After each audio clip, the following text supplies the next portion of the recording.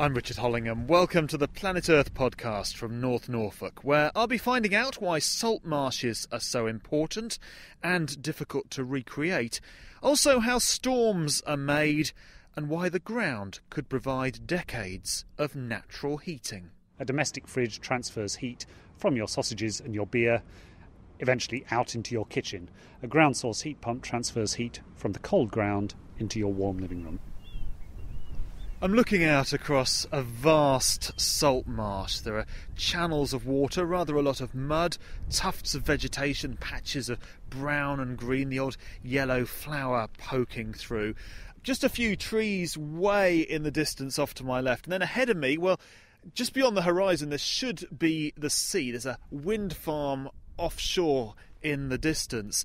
And you can hear the birds sort of whirling around over my head. This is uh, Stiffkey, a salt marsh, almost exactly midway along the North Norfolk coast. And with me is Alistair Grant from the University of East Anglia, an ecologist and co author of a new study that's looked at the problems of recreating these sorts of coastal habitats, which is what many projects around the UK are trying to do at the moment. Now, Alistair, uh, this is salt marsh. When you look at it from where we parked the car uh, a few hundred metres away, it just looks fairly nondescript. But actually, when you're up close, there's quite a lot going on in, by way of vegetation. I mean, what what is it?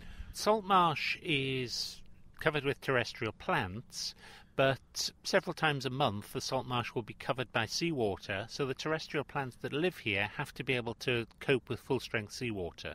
Almost no plants can do that. So we're dealing with unique biodiversity, plants that only live on salt marshes and aren't found anywhere else. So, what role does it play? It's very productive. Large amounts of plants grow every year. That provides food for the coastal environment. It provides a nursery for shrimp and young fish. If we were here in the middle of winter, we would see flocks of geese. Uh, redshank use it to breed.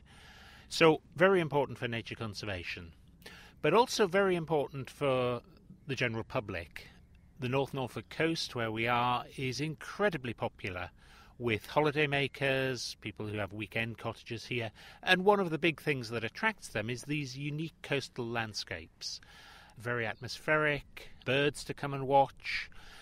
If we were here in August, the whole area would be carpeted with purple sea lavender and would look absolutely stunning. So, as well as the nature conservation, these are really unique landscapes that people value. People come and spend time here. People are prepared to spend a lot of money to come and visit salt marshes. There's also a flood defence role. I mean, this is really a, a natural barrier, albeit a flat barrier, between the sea just beyond the horizon ahead of us and the, the small villages dotting the North Norfolk coast. Yes, salt marshes do provide a coastal defence function. If you have an intact salt marsh, then that reduces the size of the seawall that you need, gives protection from storms, from very high tides, so benefit the people that live in the immediate vicinity. Now, we're standing in a, a, patch of mud. It's extremely windy. It's been raining, but it's not anymore. And yet, to one side of us, there's a, a, a typical patch, say, of salt marsh. We're fairly far from the sea, so I'm guessing this doesn't get water all the time. But let's, I mean, just looking down at it, there are all sorts of colours. There's uh, what looks like grass, there's all sorts of plants, tufts, there's even some flowers here. So, what is there in here? Well, there's a background of grass, but then in between that, there's a lot of sea lavender. There is some samphire, which people may be familiar as being served in gourmet restaurants, and a number of other salt tolerant plants, things like sea aster, sea purslane, all of which we would only find on, on salt marshes. They're not on any other environments in the UK. Now, the, the sea lavender, they're these uh, brown tufts uh, sticking out, the, the tallest plant here. And I mean, at the moment, it, it just looks like it, it's dying off for the, for the season. This this would be a brightly coloured. Yes, we're a couple of months too late. Actually, just over there, there's a single plant that's flowering. Oh yes, there is a, a little yeah. tiny, tiny little patch of purple. So if you can imagine, all of these brown tufts would have been that colour of purple in in August, and this really would be a stunning landscape. Now, you've been looking at, at projects to, to recreate salt marsh. There are various projects going on uh, around the UK at the moment. There's uh, just a few weeks ago a major nature reserve's been unveiled in Essex at Wallasea Island, uh, and much of this is on reclaimed farmland. But there's a real challenge in recreating the proper salt marsh. That's right. There used to be huge areas of salt marsh around the UK, particularly in the the south of England around all our major estuaries, there would have been vast areas of salt marsh. The great majority of those have been reclaimed for use as agricultural land. We're now down to about 40 square kilometres of salt marsh in the whole of England and Wales, a bit more in, some more in Scotland. The amount of salt marsh that is left is really quite small, and that salt marsh is eroding as a result of sea level rise and, and other pressures.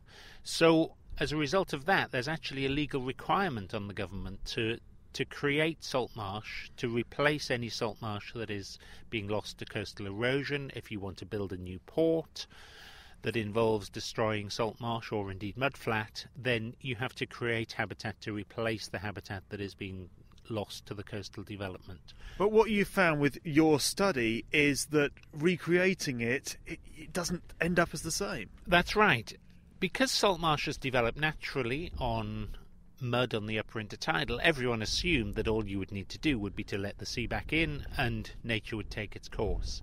But actually, it's it's not that simple. Sites that were created 20 years ago now still lack many of the most interesting species. Sea lavender, for example, one of the most charismatic of the plant species, is almost completely absent from created marshes.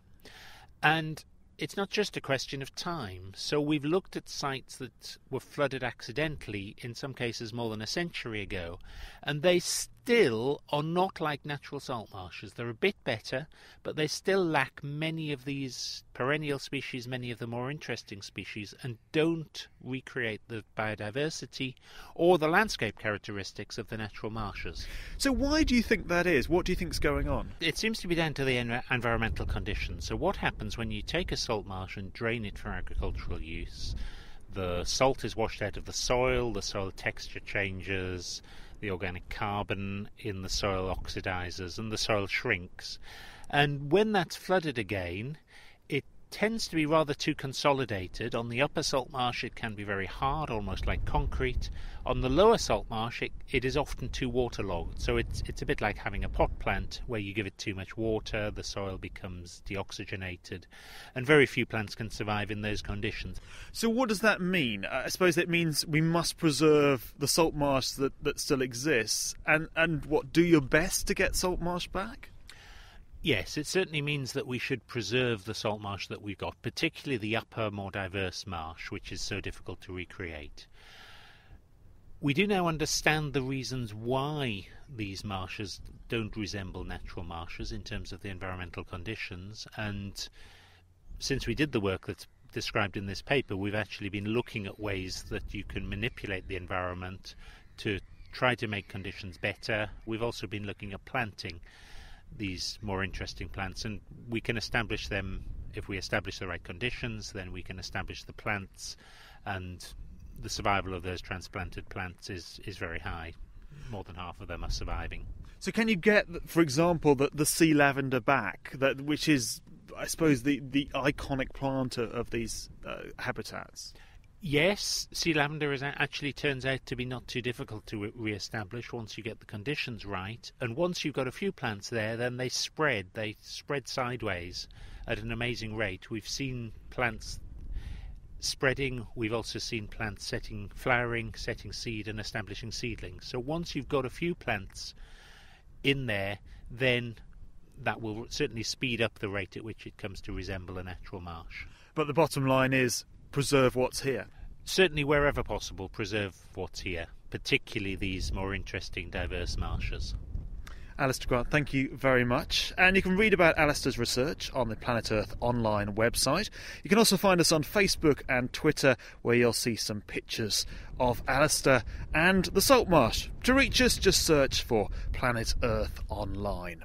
Now, there's tremendous untapped energy beneath our feet. It's not oil or gas, but heat Pumps which tap into this resource have been in use for years but aren't particularly common. Well, now a major scheme proposed for Glasgow could change that. I've been speaking to Diarmad Campbell, the British Geological Survey's chief geologist for Scotland, and consultant thermogeologist Dave Banks about the potential for this technology. I met up with them in Aberdeen when I was in the city for the British Science Festival recently, and Diarmad explained first how this ground source heat works. The use of ground source heat is really capturing the heat which is trapped. It's a reservoir under the, the surface, really close to the surface very often, and extending to moderate depth. And it's, it's an asset which we greatly underuse in this country, mainly because we derive the heat for uh, warming our houses and offices mainly from gas from the North Sea. By comparison with uh, cousins in Northern Europe and North America, where there's far greater uptake of the technology, in part because they have to pay much more for their energy in the form of gas and so on, it demonstrates that there is very considerable potential which is yet to be realised in this country. Now we're on a, street in Aberdeen, and there's a real mix of, of housing and buildings here. There are tower blocks, there are industry, there, there's streets full of terraced housing, and, and then larger houses. Could all those benefit from, from this sort of technology? Potentially, yes. You can establish ground source heat pumps, which is the technology which really transfers the heat from the ground to where you want to use it, whether it's for space heating or a building or an office. Almost anywhere. It works better in some places, some environments than others. It rather depends on the conditions of the rock and the other materials uh, beneath the surface at that location. It also depends to some extent on the building itself, whether it's an old building which is poorly insulated or whether there's a possibility of using it in a new building which could have very good insulation and be specifically adapted to use the technology very efficiently. Now, Dave, you work with this sort of technology. How does it work? What actually is it? What's involved? The ground is at a temperature of 11 or 12 degrees C in southern England, maybe 9 or 10 degrees C in Scotland, and the ground is very good at storing heat. But we like to have our sitting rooms at around 20 degrees C, and as we all know, heat doesn't go from a cold body to a hot body. It likes to go from a hot body to a cold body. The ground's at 10 degrees, your living room's at 20 degrees, so how are you going to get it from the ground to your living room? And the technology that we use is a pump that transfers heat from one place to another, and it's called, naturally enough, a heat pump, or in this particular case, a ground source heat pump. So is that like compressing the heat or, or, or concentrating the heat? Yeah, in a sense it is. At the heart of the heat pump, there's a compression expansion refrigerant cycle, which is exactly the same as you have in a domestic fridge. A domestic fridge transfers heat from your sausages and your beer eventually out into your kitchen. A ground source heat pump transfers heat from the cold ground into your warm living room. It pumps heat up the temperature gradient in much the same way that a normal water pump pushes water up a hill rather than downhill, which is its natural tendency. And what do you need I mean, you can't just stick a pipe in the ground, or, or can you? Is it just a long pipe in the ground? Well, that's actually pretty much what it is. In fact, um, the nozzle of the heat pump, which is like a thermal vacuum cleaner, can be as simple as that—a closed loop of polythene pipe that you put down a borehole or into a trench, and it effectively acts as a heat exchanger with the ground.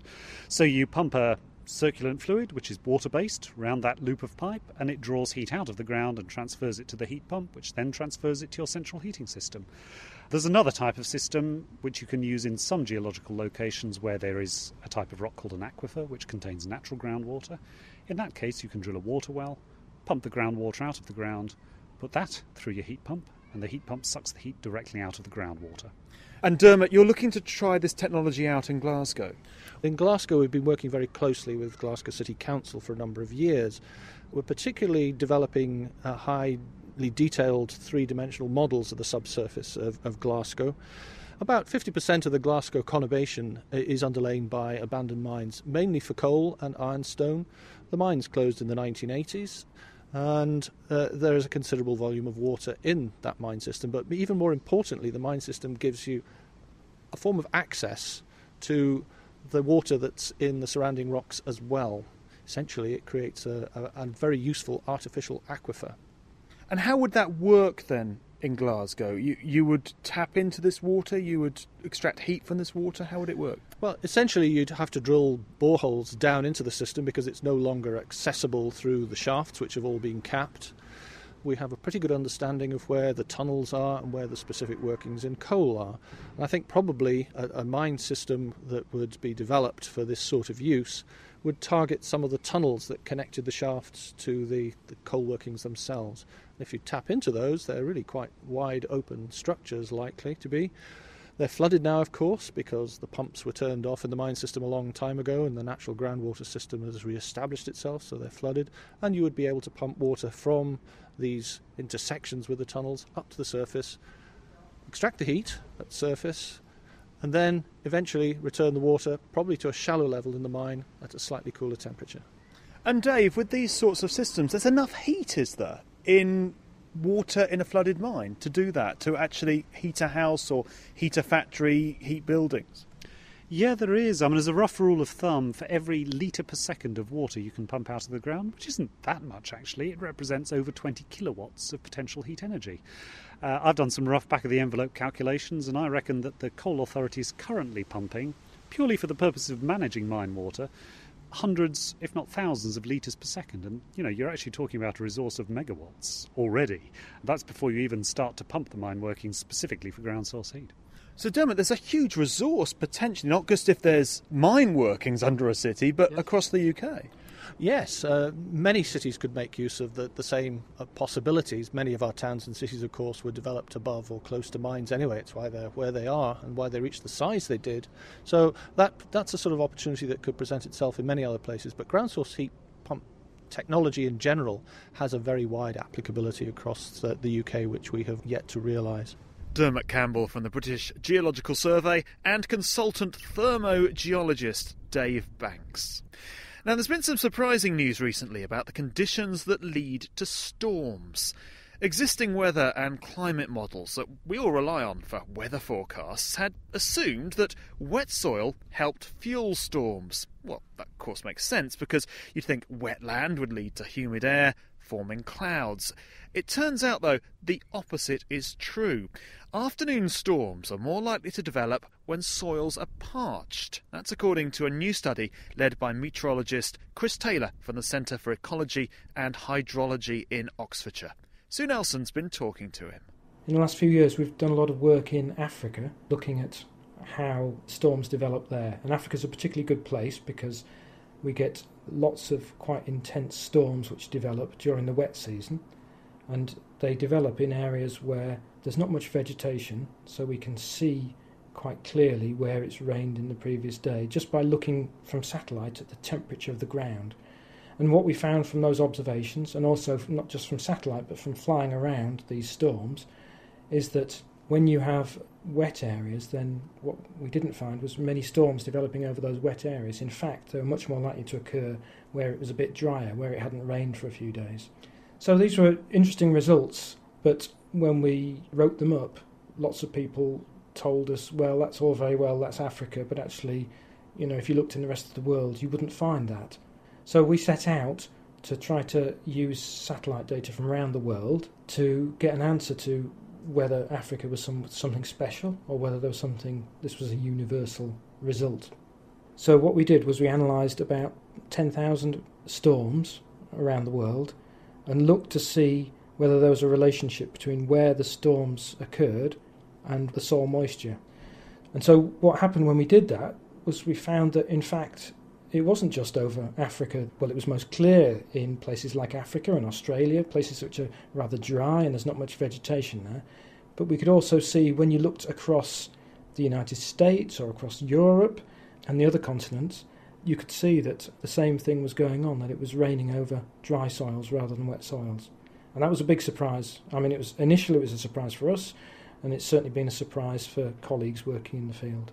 So basically, the climate modelers have got it wrong. There's already been a, a little bit of a, a discussion going on about, well, what does this say about our climate change models? How can this be fixed then? Is this something that's easily fixed? One solution to this would be to run our climate models with much more spatial information, to run the models to represent much finer scale features in the atmosphere and at the surface.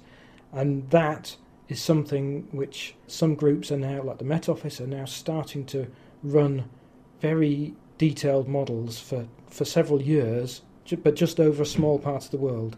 Our computers are still not powerful enough to be able to get that much spatial detail uh, into a model which is representing the whole world and for multiple years. How does this make you feel in terms of your research? I'm assuming it must be a, a difficult line to tread delight at the research, but also you're the cause of stirring a hornet's nest. That's right, yes. Um, it's interesting. The, the people who were, seem most interested in our results are actually climate skeptics. So a number of people picked up on it and wrote some rather extravagant things about how climate predictions are all duds. Now, it's clear that our climate is changing at the global scale, but actually, we have to move on from that as scientists and say something more useful about how climate over a region or a country might change in the future. And in particular, things like droughts and heat waves and you know very extreme rain events. We're now moving into much more difficult territory where the, we're asking the models to provide answers to some rather tricky questions. And, and this is exactly one kind of question. Basically, as the world warms, will we expect more droughts to occur in Europe, for example, more droughts like in 2003 when several thousand people died in France because of the because of the heat wave? And we're forced to look at how the models simulate these things, and sometimes we find that they're not doing a particularly good job in those respects.